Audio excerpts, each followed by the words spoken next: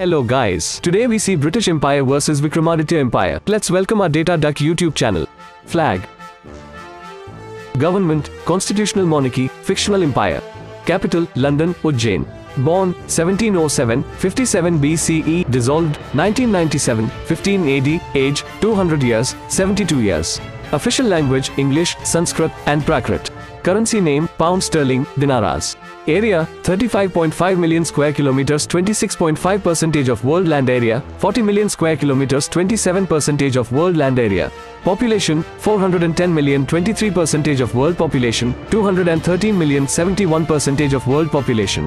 Density, 11.5 per square kilometer, 5.3 per square kilometer. GDP, 680 billion dollars, 23 billion dollars. GDP per capita, $1,658, nearly $108. GDP for adjusted value, $24.1 trillion, $76 trillion. Head of government, Mona, Chakravarti or Samrat. Major religions, Hinduism dominated by both empire. Income source, trade commodities, agriculture and tax collection. Today parts of more than 65 countries, more than 52 countries.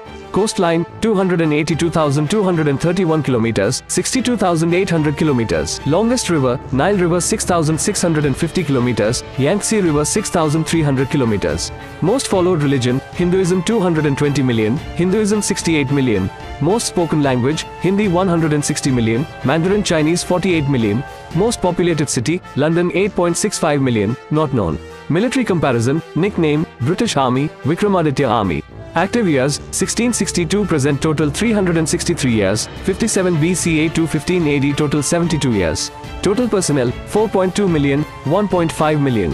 Defense budget 110 billion dollars not known. Victory 78 percentage, 96 percentage. Defeat 14 percentage, 4 percentage. Inconclusive 8 percentage, 0 percentage. Top allies Soviet Union, France, United States, maybe Vedhal based on Indian traditional stories.